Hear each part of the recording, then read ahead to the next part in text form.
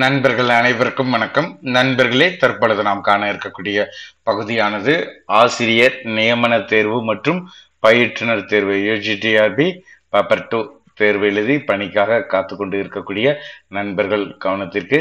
நண்பர்களே இந்த UGTRB paper two ஆசிரியர் பயிற்றுனர் தேர்வு தமிழ் பாடத்திற்கான கட் ஆஃப் என்ன? ஸோ இதனை குறித்த தகவல் தான் இந்த வீடியோவில் நம்ம நினைச்ச போகிறோம் முழுமையாக பார்க்க போகிறோம் ஒவ்வொரு பிரிவுகள் வாரியாக எவ்வளோ மதிப்பெண் இருந்தால் பணி கிடைக்கும் என்பதனை குறித்த நம்முடைய குழுவின் சார்பாக கொடுத்துருக்கக்கூடிய கூகுள் ஃபார்ம் இதை அடிப்படையாக வைத்து நம்ம என்ன செஞ்சுருக்கோம்? இந்த டீட்டெயில் ஆனது நம்ம எடுத்திருக்கோம். ஸோ அதற்கு முன்பாக ஒரு சில தகவல்கள் உங்களுடன் பகிர்ந்துக்கிட்டு அதுக்கு பிறகு இந்த கட் ஆஃப்குள்ளே போனால் இனியும் சிறந்ததாக இருக்குங்கிறதுனால நம்ம நினைச்சிரோம் இந்த கட் ஆஃபை தெரிவிப்பதற்கு முன்பாக ஒரு சில தகவல்கள் உங்களுடன் பரிமாறிக்கொள்ள விரும்புகிறேன். ஸோ இந்த தமிழ் பாடப்பிரிவு சொல்லி நம்ம எடுத்துக்கிற பொழுது இந்த யூஜிடிஆர்பிக்கு வந்து கேட்டிருக்கக்கூடிய வினாக்கள் என்ன? ஸோ இந்த வினாக்களானது கடந்த இரண்டாயிரத்தி பதினேழு பத்தொன்பது.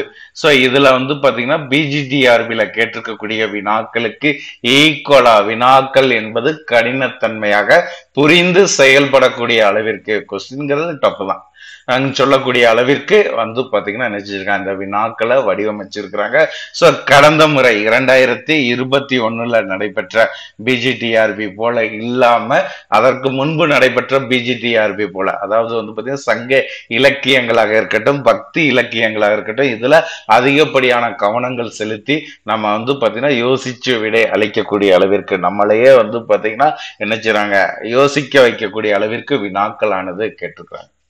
சோ இதற்கு முன்பாக வந்து யூஜிடிஆர்பி நடைபெற்றுச்சான்னு சொன்னா இரண்டாயிரத்தி பன்னிரெண்டுக்கு முன்பாக யூஜிடிஆர்பி நடந்திருக்கு. ஸோ அப்ப கொடுத்துருக்கக்கூடிய வினாக்கள் அப்ப கொடுத்துருக்கக்கூடிய பேட்டர்னை பார்த்தோம்னா உங்களுக்கான சிலபஸ் எளிமையாக இருக்கும். கொஷினுமே எளிமைங்கிற கூடிய கான்செப்ட் ஆனா இப்ப பார்த்தோம்னா உங்களுக்கு தமிழ் எலிஜிபிலிட்டி டெஸ்ட்டுங்கிறது ஒன்று இருக்குது. இந்த எலிஜிபிலிட்டி டெஸ்ட்டை நம்ம தாண்டி தான் பணிக்கு செல்லக்கூடிய தேர்வுக்கு நம்மளுடைய பேப்பரை வேல்யூ பண்ணுவாங்க. வேல்யூ பண்ணி மதிப்பெண் அதிகமாக எடுக்கக்கூடிய ஒரு சூழ்நிலையானது தற்பொழுது நிலவுது. அப்போ காலங்கள் மாற மாற அந்த கொஸ்டினுடைய தரம் என்பதும் சரி ஆசிரியரை தேர்ந்தெடுக்கக்கூடிய முறையும் சரி மாற்றம் ஏற்படுகிறது என்று பார்க்கும் பொழுது இந்த வினாக்கள் இரண்டாயிரத்தி இருபத்தி நான்கு பிப்ரவரி நாலுல நடைபெற்ற இந்த தேர்வானது வந்து பார்த்தீங்கன்னா கடினத்தன்மையாக நம்ம வந்து பார்த்தீங்கன்னா நம்மளை சிறந்த முறையில் பரிசோதித்து ஆசிரியர்களை தேர்வு செய்வதற்கான ஒரு வழிமுறையாக இந்த தேர்வை வந்து பார்த்தீங்கன்னா என்ன செஞ்சிருக்காங்க வடிவமைச்சிருக்கிறாங்க. ஸோ அப்போ இந்த தேர்வில் வந்து பார்த்தீங்கன்னா கேட்டிருக்கக்கூடிய வினாக்கள் கிட்டத்தட்ட நூற்றி ஐம்பது வினாக்களும் நம்மளுடைய மேஜர் தான். இதற்கு முன்பு இருக்கக்கூடிய சைக்காலஜி அதே மாதிரி வந்து பார்த்தீங்கன்னா ஜிகே இந்த பேட்டர்ன் இல்லாம முழுக்க முழுக்க நம்மளுடைய மேஜர்ல இருந்து நூத்தி ஐம்பது வினாக்கள். சோ நம்ம எந்த அளவுக்கு தயாராகிறோம் என்பதை தேர்வு செய்வதற்கு. சோ இந்த தேர்வில் வந்து பார்த்தீங்கன்னா நம்ம இப்போ ஒரு பிஜிடிஆர்பின்னு சொல்லி எடுத்துக்கிறோம். பட்சத்தில் உங்களுக்கு சைக்காலஜி ஜிகே ஸோ இதனுடைய மதிப்பெண் வந்தாலும் நம்மளுக்கு கொஞ்சம் குறையும். அதனால வந்து பார்த்தீங்கன்னா நம்மளுடைய மார்க் வந்து பார்த்தீங்கன்னா குறைவதற்கான வாய்ப்புகள் இருக்கும். ஆனால் இது முழுக்க முழுக்க மேஜர் தான். மேஜராக இருந்தாலும் இதனுடைய மதிப்பெண்ங்கிறது குறைவதற்கான வாய்ப்புகள் அதிகமாக இருக்குது. வினாவினுடைய கடினத்தன்மையை பொறுத்து. இப்போ சைக்காலஜி இதுனா நம்மளுக்கு குறையுங்கிறது எல்லாருமே தெரிஞ்சிருப்போம். ஆனால் மேஜர்லேயே நம்மளுக்கு வினாக்கள் கேட்டிருக்காங்க. அதுலயுமே மதிப்பெண் குறையுங்கிறது கிட்டத்தட்ட வந்து பாத்தீங்கன்னா ஒரு ஐம்பது மதிப்பெண் வந்து பாத்தீங்கன்னா எல்லோருமே எல்லாரும் வந்து பாத்தீங்கன்னா அட்டன் பண்ணக்கூடிய அளவிற்கு சொல்லி பாத்தீங்கன்னா கிட்டத்தட்ட ஒரு ஐம்பது வினாக்கள் வந்து எல்லாருமே எழுதிடலாம் சொல்லக்கூடிய அளவிற்கு வினாக்களாகவும் கிட்டத்தட்ட வந்து பாத்தீங்கன்னா ஒரு எழுபது வினாக்களானது கடினத்தன்மை. சரிங்களா இருநூறு வினாக்களானது வந்து பாத்தீங்கன்னா கடினத்தன்மையாக ஸோ கற்றறிந்தோர் வந்து பாத்தீங்கன்னா அதை கரெக்ட் அதனுடைய லைனாக இருக்கட்டும். ஸோ கொடுத்துருக்கக்கூடிய ஆப்ஷன் ஏன் இந்த ஆப்ஷன் கொடுத்துருக்காங்க. ஸோ எல்லாத்தையுமே அனலைஸ் பண்ணி நம்ம வந்து பார்த்தீங்கன்னா எழுதக்கூடியது. இதில் வந்து பார்த்தீங்கன்னா சில ஆசிரியர்களுக்கு வந்து பார்த்தீங்கன்னா லக்குன்னு சொல்லுவோம் நம்ம வைக்கக்கூடிய அந்த ப்ரெசன்ட் ஆஃப் மைண்ட் தான். நம்ம வைக்கக்கூடிய புள்ளியானது மதிப்பெண்ணாக மாறக்கூடியதாக இருக்கும். நல்லா படிக்கிறவங்க கூட அந்த மைண்ட் செட்டப்பில் மாறுவதற்கும் வாய்ப்பு இருக்குது. இந்த எழுபது வினாக்கள்ங்கிறது டிசைடிங் அத்தாரிட்டியாக இருக்கக்கூடியது. ஸோ இந்த எழுபது வினாக்கள்ல வந்து பார்த்தீங்கன்னா எவ்வளவு மதிப்பெண் எடுக்கிறோங்கிறது தான் வந்து பார்த்தீங்கன்னா நம்மளுடைய வெற்றியை தீர்மானிக்கக்கூடிய பகுதியாக இருக்கக்கூடியது. ஸோ இந்த எழுபது வினாக்கள்ல வந்து பார்த்தீங்கன்னா படித்தவர்கள் படிக்காதவர்கள்ங்கிறது அந்த வைக்கக்கூடிய புள்ளி அந்த பிரசன்ட் ஆஃப் மைண்டு தீர்மானிக்கக்கூடியது. மீதி முப்பது வினாக்கள் என்பது வந்து பார்த்தீங்கன்னா கிட்டத்தட்ட வந்து வினாக்கள் எங்கே இருக்கு? அதனுடைய ஆன்சர் என்ன? இது கொஸ்டின் தானா? ஆங்கக்கூடிய அளவிற்கு மிகவும் கடினத்தன்மையாக சரிங்களா? கடினத்தன்மையாக வந்து பார்த்தீங்கன்னா இந்த வினாக்களானது வடிவமைச்சிருக்காங்க. அப்போ ஐம்பது வினாக்கள் எல்லோருமே எழுதக்கூடிய வகையிலும் எழுபது வினாக்கள் வந்து பார்த்திங்கன்னா யோசிச்சு நம்மளுடைய அந்த ப்ரெசன்ட் ஆஃப் மைண்டு தான். மீதி முப்பது வினாக்களானது ஏபிசிடி தான். ஏயா பியா சியா டியா எதை போடணும்ங்கிறத நம்ம பார்த்து போடக்கூடிய அளவு தான் ஸோ இதில் வந்து பார்த்தீங்கன்னா முப்பது வினாக்களை நம்ம ஏபிசிடி போடும்போது சில பேருக்கு மதிப்பெண் அதிகரிப்பதற்கு வாய்ப்பு இருக்கு. சில பேருக்கு மதிப்பெண் குறைவதற்கு வாய்ப்பு இருக்கு. ஸோ அப்போ வந்து பார்த்தீங்கன்னா ஐம்பது மதிப்பெண்ங்கிறது எல்லோருமே மேக்சிமம் எடுக்கக்கூடிய அளவிற்கு வினாக்களை செட் பண்ணிட்டாங்க. எழுபது வினாக்கள் வந்து பார்த்தீங்கன்னா நம்ம யோசிச்சு தீர்மானிக்கக்கூடிய பகுதியாகவும் முப்பது வினாக்கள் மதிப்பெண் ஏறுவதற்கும் இறங்குவதற்குமான வாய்ப்பாக இருக்குது ஸோ இந்த பிஜிடிஆர்பி எக்ஸாமில் கேட்கக்கூடிய பேட்டர்னை மாற்றி என்ன செஞ்சுருக்காங்க? இந்த யூஜிடிஆர்பியில் இனியும் கடினத்தன்மையாக மிகவும் ஒரு கடினத்தன்மை சொல்லக்கூடிய அளவிற்கு இந்த வினாக்களை என்ன செஞ்சுட்டாங்க? செட் பண்ணிட்டாங்க. ஸோ இதனுடைய நோக்கம் என்பது வந்து பார்த்தீங்கன்னா ஆசிரியர்களை சிறந்த முறையில் தேர்ந்தெடுக்க வேண்டும் என்று ஒரு காரணம் சொல்கிறாங்க ஸோ அது எந்த அளவுக்கு என்கிறத விட வந்து பார்த்தீங்கன்னா இனி வரக்கூடிய காலங்களில் தேர்வு இப்படித்தான் இருக்கும் என்பது தேர்வு தேர்வர்களுக்கு உணர்த்துவதற்கான ஒரு செய்தி என்பதை நான் எதிர்நோக்குகிறேன்.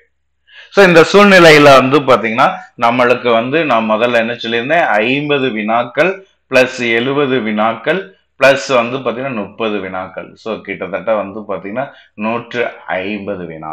ஸோ இந்த நூற்றி ஐம்பது வினால நம்ம கொடுத்துருக்கக்கூடிய கூகுள் ஃபார்ம் சரிங்களா? ஸோ வந்து பார்த்தீங்கன்னா கூகுள் ஃபார்ம்ங்கிறது உங்களுக்கு வந்து பார்த்தீங்கன்னா டென்டேட்டிவ் ஆன்சர் கீ வந்து பார்த்தீங்கன்னா கொடுப்பதற்கு முன்பாகவும் நம்ம கூகுள் ஃபார்ம் கொடுத்துருக்கோம். ஸோ அந்த டென்டேட்டிவ் ஆன்சர் கீ வந்த பிறகும் கூகுள் ஃபார்ம் கொடுத்துருக்கோம். கிட்டத்தட்ட வந்து பார்த்தீங்கன்னா முன்னூற்றி இருபது ஆசிரியர்கள் தங்களுடைய மதிப்பெண்ணை வந்து பார்த்தீங்கன்னா என்ன செஞ்சுருக்கீங்க? பதிவு செஞ்சுருக்கீங்க. முந்நூற்றி இருபது ஸோ இப்போ ஒரு பிஜிடிஆர்பி எக்ஸாமாக இருக்குதுங்கிற பட்சத்தில் குறைந்தது வந்து பார்த்தீங்கன்னா ஒரு ஆயிரம் ஆசிரியர்கள் வந்து பார்த்தீங்கன்னா என்ன செய்வாங்க? தங்களுடைய மதிப்பெண்ணை வந்து பார்த்தீங்கன்னா பதிவு செய்வாங்க. அப்போ அக்யூரேட்டாக கரெக்டாக வந்து பார்த்தீங்கன்னா கட் ஆஃப் போடுவதற்கான வாய்ப்பு இருந்துச்சு. இந்த யூஜிடிஆர்பி தேர்வை பொறுத்த வரைக்கும் வந்து பார்த்தீங்கன்னா ஆசிரியருடைய மதிப்பெண் பங்களிப்பு என்பது மிக மிக குறைவு. அது மட்டும் இல்லாமல் இந்த மதிப்பெண்ணை குறித்து கால் பண்ணுறது சரிங்களா உங்களுடைய மதிப்பெண்ணை தெரிவிப்பது. ஸோ இது இருந்தாலும் கூட கிட்டத்தட்ட நம்மளுடைய கூகுள் ஃபார்ம்ல கொடுத்துருக்கக்கூடிய ஆசிரியர்களுடைய எண்ணிக்கை சொல்லி நம்ம பார்க்கின்ற பட்சத்துல இதுல என்ன செஞ்சிருக்காங்க? முன்னூற்றி இருபது வரைக்கும் ஆசிரியர்கள் தங்களுடைய மதிப்பெண்ணை பதிவு செஞ்சிருக்கீங்க. ஸோ ஒரு ஆயிரம் இருந்திருந்தா நம்ம தெளிவா சொல்லிடலாம். முன்னூற்றி இருபது என்பது இதை அடிப்படையாக வைத்து இவ்வளவு இருக்கலாம். ஸோ இவ்வளவு இருக்கும். வந்து நம்மளுடைய ஒரு டீம்ல இவ்வளவு பேர் கொடுத்துருக்காங்க அப்ப இனி எவ்வளவு டீம் இருக்கும். ஸோ அப்ப இந்த பேட்டர்ன்ல தான் இருக்கும். இவ்வளவு மதிப்பெண் எடுத்தா நம்ம சேஃபா இருக்கலாம். என்பதை நம்ம நினைச்சிரோம் இந்த இடத்துல நம்ம கொடுக்குறோம். ஸோ இதை விட வந்து பாத்தீங்கன்னா ஒன் ஆர் டூ மார்க் குறைவதற்கான வாய்ப்புகள் இருக்குமே தவிர அதிகரிப்பதற்கு என்பதற்கு வாய்ப்பே கிடையாது. ஸோ அதை நான் தெல்ல தெளிவாக உங்களுக்கு நான் நினைச்சிறேன். தெளிவுபடுத்திக்கிறேன். ஸோ இதற்கு அடுத்து இன்னொரு செய்தி உங்களுக்கு சொல்லும்போது தற்பொழுது இருக்கக்கூடிய காலி பணியிடங்களை விட ஆயிரம் காலி பணியிடங்கள் அதிகரிக்கும் என்பது தற்பொழுது கிடைத்திருக்கக்கூடிய செய்தி. இந்த ஆயிரம் காலி பணியிடங்கிறது கம்பல்சரி வந்து பாத்தீங்கன்னா காலி பணியிடம் கொடுப்பது கிட்டத்தட்ட வந்து பாத்தீங்கன்னா ஒரு இரண்டாயிரம் ஆசிரியருடைய காலி பணியானது இருக்குது. இதுல வந்து பாத்தீங்கன்னா ஐம்பது சதவீதம் வந்து பாத்தீங்கன்னா ப்ரொமோஷன் மீதி ஐம்பது சதவீதம் வந்து பாத்தீங்கன்னா தேர்வு மூலம் சொல்லி பார்க்கும் பொழுது இப்ப நடத்திட்டாங்க தேர்வு. அது மட்டும் இல்லாம இந்த போஸ்டிங் வந்து பாத்தீங்கன்னா உங்களுக்கு ஜூன் ஒன்றாம் தேதி சரிங்களா? ஜூன் ஒன்றாம் தேதி ஆசிரியர்கள் பணிக்கு செல்வதற்கான வழிமுறையாக அதாவது கரெக்டா வந்து பாத்தீங்கன்னா மே முப்பத்தி ஒண்ணுக்குள்ள ஆசிரியர்களை தேர்வு செய்து ஜூன் ஒண்ணுல பணிக்கு அனுப்புவதற்காக அதற்கான வழிமுறைகளை உருவாக்கி அதற்கு ஒரு ஜீவோ பாஸ் பண்ணியிருக்காங்க. அப்ப இனி வந்து பாத்தீங்கன்னா புதிய அகாடமிக் இயர்ல கிட்டத்தட்ட ஒரு இரண்டாயிரம் காலி பணியிடங்கள் இருக்குங்கும்போது அதுல ஆயிரம் காலி பணியிடங்களை நிரப்ப வேண்டிய கட்டாயமானது இருக்குது. அப்படி பார்க்கின்ற சூழ்நிலையில் இந்த ஆயிரம் பணியிடங்கள்ங்கிறது இப்ப நடத்திய இந்த தேர்வோடு இணைக்கப்படும் என்பதுல எந்த மாற்றமும் கிடையாது. கிட்டத்தட்ட வந்து பாத்தீங்கன்னா ஆயிரம் காலி பணியிடங்கள் அதிகரிக்குது. ஆனா நான் இங்க கொடுத்திருக்கக்கூடிய கட் ஆஃப் ஆனது இப்ப கொடுத்திருக்கக்கூடிய இந்த நோட்டிபிகேஷனுடைய காலி பணியிடங்கள் அடிப்படையாக வைத்து நீங்க கொடுத்துருக்கக்கூடிய மதிப்பெண்ணை வச்சு நான் என்ன செஞ்சிருக்கேன்? கொடுத்துருக்கேன். சோ மூன்றுல இருந்து நான்கு மார்க் வரைக்கும் இந்த ஆயிரம் பணியிடங்கள் வந்து பாத்தீங்கன்னா உங்களுக்கு அதிகரிக்கின்ற பட்சத்துல நம்மளுக்கு மூன்றுல இருந்து நான்கு மார்க் வரைக்கும் இப்ப கொடுத்துருக்கக்கூடிய கட் ஆஃப்ல இருந்து நீங்க குறைச்சிக்கலாம். ஸோ பட் இப்ப கொடுத்துருக்கக்கூடிய கட் ஆஃப்ங்கிறது வந்து பாத்தீங்கன்னா என்ன செஞ்சுருக்கோம் நீங்க கொடுத்துருக்கிறது ஒரு ஆயிரம் இருந்துச்சுன்னா தெளிவா நம்ம பண்ணியிருக்கலாம் ஆனா ஆசிரியர்களுடைய ஈடுபாடு என்பது இன்னியும் அப்ஜெக்ஷன் ட்ராக்கராக இருக்கட்டும். ஸோ இன்னியும் சில விஷயங்களை தேடக்கூடிய ஒரு பணியில இருப்பதன் காரணமாக இப்ப வந்து பாத்தீங்கன்னா நம்ம என்ன செஞ்சிருக்கோம்? ஒரு டென்டிட்டிவாக இதுல இருந்து ஒன் ஆர் டூ கொஸ்டின் குறையலாம் தவிர கூடுவதற்கு மா- வாய்ப்பே இல்லை. ஸோ இது வந்து பாத்தீங்கன்னா நம்ம அக்யூரேட்டா இருக்குதுன்னு சொல்றதை விட எதிர்பார்க்கலாம் என்பதை நீங்க கொடுக்கக்கூடிய மதிப்பெண்ணை அடிப்படையாக வச்சு நினைச்சலாம் எதிர்பார்க்கலாம்ங்கிறது தான். ஆனா இதுவாக இருக்குங்கிறதுல கிட்டத்தட்ட ஒரு தொண்ணூறு சதவீதம் நான் உறுதியாக இருக்கிறேன். இது இருக்கும்ங்கிறதுல. ஆகவே இந்த மதிப்பெண் உங்களுக்கு இருந்துச்சுன்னா நம்ம நம்பிக்கையோட காத்துக்கிட்டு இருக்கலாம்ங்கிறதுல எந்த மாற்றமும் கிடையாது. எந்த விதமான ஐயப்பாடும் வேண்டாம். ஸோ அப்ப இங்க கேட்டிருக்கக்கூடிய வினாக்கள் ஐம்பது பிளஸ் எழுபது பிளஸ் முப்பது. இதுல வந்து பாத்தீங்கன்னா நான் ஏற்கனவே சொன்னேன் ஆசிரியர்களுடைய அந்த பிரசன்ட் ஆஃப் மைண்ட் அப்ப நம்மளுக்கு கொடுத்துருக்கக்கூடிய இந்த கூகுள் ஃபார்ம்ல வந்து பாத்தீங்கன்னா அதிகபட்ச மதிப்பெண்.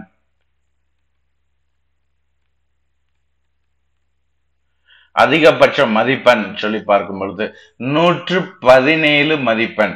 நூற்றி பதினேழு மார்க்குங்கிறது வந்து பாத்தீங்கன்னா நம்மளுடைய கூகுள் ஃபார்ம்ல கொடுத்துருக்கக்கூடிய மதிப்பெண். ஸோ அந்த நூத்தி பதினேழு மதிப்பெண்கிறது நம்ம ஏற்கனவே சொன்ன இந்த பேட்டர்ன் தான் வைக்கக்கூடிய புள்ளியில் இருக்கலாங்கிறது. ஏன் நான் இதை சொல்கிறேன் சொன்னால் நூற்றி பதினேழு மதிப்பெண்ங்கிறது வந்து பார்த்திங்கன்னா நம்மளுக்கு கூகுள் ஃபார்மில் கொடுத்துருக்கக்கூடிய நேம் வந்து பார்த்திங்கன்னா மகாங்கிற கூகுள் ஃபார்மோட நேம் கொடுத்துருக்குறாங்க. இரண்டாயிரத்தி பதினேழில் ஆசிரியர் தகுதி தேர்வில் வெற்றி பெற்று அந்த மதிப்பெண் அதுக்கு கொடுக்கக்கூடிய கட் ஆஃப் இவங்க எடுத்துக்கக்கூடிய மதிப்பெண் நம்மளுக்கு வந்து பார்த்திங்கன்னா நம்ம என்ன செஞ்சிடலாம்? கிட்டத்தட்ட ஒரு ஏழு வினாக்களுக்கு வந்து பார்த்திங்கன்னா அப்ஜெக்ஷன் கிடைக்கும்னு சொல்லி நம்ம சொல்லியிருந்தோம். ஸோ அது எல்லாமே சேர்த்து நினைக்கிறேன். கிட்டத்தட்ட வந்து பாத்தீங்கன்னா நூற்றி பதினேழுங்கிறது முதல் மதிப்பெண்ணாகவும் இரண்டாவது அதிகபட்ச மதிப்பெண் சொல்லி பார்க்கும் பொழுது நூத்தி எட்டு மதிப்பெண் நூத்தி எட்டு மார்க் நூத்தி எட்டு மார்க்குங்கிறது வந்து பாத்தீங்கன்னா என்ன செஞ்சுருக்குறாங்க? கொடுத்துருக்குறாங்க. ஸோ நிசா ஆண்கிற நேம்ல இருக்கக்கூடியவங்க ஆசிரியர் இவங்க கொடுத்துருக்குறாங்க. இரண்டாயிரத்தி இருபத்தி ரெண்டு ஆசிரியர் தகுதி தேர்வில் வெற்றி பெற்றதாக வந்து பார்த்தீங்கன்னா பதிவு செஞ்சுருக்காங்க. ஸோ அப்போ இந்த ஃபஸ்ட்டு மார்க்லேயே வேரியேஷன் இருக்கும்போது நான் சொன்னேன் இல்லையா? நம்ம வைக்கக்கூடிய புள்ளி மார்க்கை ஏற்றும் குறைக்கும்னு சொல்லும் பொழுது நூற்றி பதினேழுங்கிறது வந்து பார்த்தீங்கன்னா முதல் மதிப்பெண்ணாகவும் அடுத்து கேப் கிட்டத்தட்ட வந்து பார்த்தீங்கன்னா ஒரு ஒன்பது வினாக்கள் கேப் இருக்குது. ஸோ இதுக்கு அடுத்தபடியாக வந்து பார்த்தீங்கன்னா நூற்றி ஏழாக இருக்கட்டும். ஸோ நூற்றி அஞ்சு இருக்குது நூற்றி நாலு இருக்குது. சரிங்களா? ஸோ அப்போ நூறுக்கு மேலே சொல்லும் போது கிட்டத்தட்ட வந்து பார்த்தீங்கன்னா இருபத்தி இரண்டு ஆசிரியர்கள் வந்து பாத்தீங்கன்னா நூறுக்கு மேல தங்களுடைய மதிப்பெண்ணை என்ன செஞ்சுருக்காங்க கொடுத்துருக்குறாங்க. நூறுக்கு மேல ஆசிரியர்கள் தங்களுடைய மதிப்பெண்ணை கொடுத்துருக்குறாங்க. ஸோ அப்படி பார்க்கின்ற பட்சத்துல நான் என்ன செஞ்சிருக்கேன்? நூத்தி பத்து வந்து பாத்தீங்கன்னா அதிகபட்ச மதிப்பெண்ணாக நான் எடுத்துக்கிறேன். நூத்தி பத்து அதிகபட்ச மதிப்பெண்ணாக எடுத்து ஸோ இந்த இருபத்தி ரெண்டு ஆசிரியர்கள் இதற்கு அடுத்து வந்து பாத்தீங்கன்னா இனி இருக்கலாம் ஆன்னு சொல்லக்கூடிய ஒரு சில கால்குலேஷன் வச்சு நம்ம கட் ஆஃப் சொல்லி கொடுக்கும் பொழுது சரிங்களா? அதிகபட்ச மதிப்பெண் எவ்வளவுன்னு சொல்லியாச்சு. ஸோ அதுல நூறுக்கு மேல எத்தனை பேர் இருக்கிறாங்க எத்தனை பேர் மார்க் கொடுத்துருக்குறாங்கங்கிறதையும் நம்ம என்ன செஞ்சாச்சு? இந்த இடத்துல சொல்லியாச்சு. ஸோ இதே அடிப்படையாக வைத்து கட் ஆஃப் சொல்லி நம்ம பார்க்கும் பொழுது ஜென்ரல் டேன்ல சரிங்களா? ஜென்ரல் டேன்ல வந்து பாத்தீங்கன்னா நூறு ப்ளஸ் ஹண்ட்ரட் ப்ளஸ் ஹண்ட்ரடுக்கு மேல் என்பதுதான் வந்து பாத்தீங்கன்னா இதுல இருக்கக்கூடியது. ஜிடி ஜென்ரல்ல ஜென்ரல் டேன்ல வந்து பாத்தீங்கன்னா என்ன செஞ்சுருக்கோம்? நூறுக்கு மேல்ங்கிறது இதுல போயிடலாம் அடுத்து வந்து பாத்தீங்கன்னா ஜென்ரல் டேனில் சரிங்களா? ஜென்ரல் டேனில் வந்து பார்த்திங்கன்னா உமன் ஸோ உமனுக்கு வந்து பார்த்தீங்கன்னா மதிப்பெண் சொல்லி பார்க்கும் பொழுது இந்த ஜென்ரல் டேன்ல வந்து பார்த்தீங்கன்னா தொண்ணூற்றி எட்டுல இருந்து தொண்ணூற்றி இரண்டு வரைக்கும் இருக்கக்கூடியவர்கள். தொண்ணூற்றி எட்டுல இருந்து தொண்ணூற்றி இரண்டு வரைக்கும் இருக்கக்கூடியவர்கள். ஜென்ரல் டென் உமனுக்கான வாய்ப்புகள் அதிகபட்சமாக இருக்கிறது. ஸோ அடுத்து வந்து பார்த்திங்கன்னா நம்ம பார்க்கக்கூடியது பிசி சரிங்களா? பிசியில் வந்து பார்த்திங்கன்னா ஜென்ரல் பிசியில் பார்க்கின்ற பட்சத்தில் வந்து பார்த்தீங்கன்னா தொண்ணூற்றி இரண்டுல இருந்து குறைந்தபட்சம் தொண்ணூறு வரைக்கும் இருக்கக்கூடியவங்க பிசி ஜென்ரலில் போவதற்கான வாய்ப்புகள் அதிகபட்சமாக இருக்குது. அப்போ ஜிடியில் என்ன ஜிடி உமனில் என்ன பிசி சொல்லி நம்ம பார்த்துருக்கோம். அடுத்து வந்து பார்த்திங்கன்னா பிசி உமன் பிசியில் உமன் பிசியில் உமன் சரிங்களா? ஸோ இதில் வந்து பார்த்தீங்கன்னா மதிப்பெண்ணை நம்ம செக் பண்ணி பார்க்கின்ற பட்சத்தில் உங்களுக்கு வந்து பார்த்தீங்கன்னா தொண்ணூறுல இருந்து எண்பத்தி எட்டு வரைக்கும் இருக்கக்கூடிய ஆசிரியர்கள். வந்து பார்த்தீங்கன்னா இந்த கேட்டகரியில் போவதற்கான வாய்ப்புகள் அதிகபட்சமாக இருக்குது. ஸோ அடுத்து வந்து பார்த்தீங்கன்னா எம்பிசி எம்பிசியில் வந்து பார்த்தீங்கன்னா ஜென்ரலில் பார்க்கும்போது ஸோ அந்த பிசிக்கு இருக்கக்கூடிய ஒரு மார்க்கு முன்ன பின்ன இருக்கலாமே தவிர நான் பிசியில் இருக்கக்கூடியதை அப்படியே நம்ம எம்பிசிக்கு வச்சுக்கலாம் சொல்லி நான் எதிர்பார்க்குறேன். ஸோ ஏன்னா அதிகபட்சமாக பார்த்தோன்னா ஒரு மார்க்கு முன்ன பின்ன இருக்கலாம். சரிங்களா? இதை கரெக்டாக கடிப்பது என்பது இல்லைன்னா கொடுத்துருக்கக்கூடிய உங்களுடைய எண்ணிக்கையும் குறைவாக இருக்குது. ஸோ இதை பார்க்கின்ற பட்சத்தில் எம்பிசியில் வந்து பார்த்தீங்கன்னா நம்ம நினைச்சிடும் அந்த பிசிக்கு உள்ளதையே அப்படியே தொண்ணூற்றி ரெண்டுலேருந்து தொண்ணூறு வரைக்கும். அதே மாதிரி எம்பிசியில் வந்து பார்த்தீங்கன்னா நினைச்சிடும் உமன் உமனுக்கு வந்து பார்த்தீங்கன்னா எம்பிசியில் உமனுக்கு வந்து பார்த்தீங்கன்னா நம்ம என்ன செஞ்சுருக்கோம்? தொண்ணூறுலேருந்து எண்பத்தி எட்டு வரைக்கும் நம்ம கொடுத்துருக்குறோம். சரிங்களா? ஸோ இது வந்து பார்த்தீங்கன்னா முதல் பகுதி. ஸோ இதற்கடுத்து வந்து பார்த்தீங்கன்னா நம்ம பார்க்கக்கூடியது சொல்லி பார்த்தீங்கன்னா எஸ்சி ஸோ இந்த எஸ்சியில் வந்து பார்த்தீங்கன்னா ஜென்ரல் பார்க்குறோம். நம்மளுக்கு வந்து பார்த்தீங்கன்னா எண்பத்தி ஆறில் இருந்து எண்பத்தி நான்கு வரைக்கும் இருக்கக்கூடியவர்கள் இதை வந்து பார்த்தீங்கன்னா எதிர்பார்க்கலாம். அதே மாதிரி வந்து பார்த்தீங்கன்னா எஸ்சியில் வந்து நம்ம நினைச்சிடும் உமனாக இருக்கக்கூடியவர்கள் வந்து அவர்களுடைய மதிப்பெண் சொல்லி பார்க்கும் பொழுது நினைச்சிடும் எண்பத்தி நாலுல இருந்து எண்பத்தி இரண்டு எண்பத்தி ரெண்டு வரைக்கும் இருக்கக்கூடியவர்கள். ஸோ அங்கிட்ட ஒன் ஆர் டூ கொஸ்டின் முன்ன பின்ன இருக்கலாம். ஸோ எண்பத்தி ரெண்டு வரைக்கும் இருக்கக்கூடியவர்கள் நினைச்சலாம் ஏசியில உமன் எதிர்பார்க்கக்கூடிய கேட்டகரியில் இருக்குது. ஸோ பிசிஎம் சொல்லி பார்க்கும்போது பிசிஎம் பிசியில் முஸ்லீம். பிசிஎம்ல வந்து பார்த்தீங்கன்னா எண்பது. ஸோ எழுபத்தி எட்டு. எழுபத்தெட்டு எண்பதுங்கிறது வந்து பார்த்தீங்கன்னா நம்ம எதிர்பார்க்கக்கூடிய பகுதி.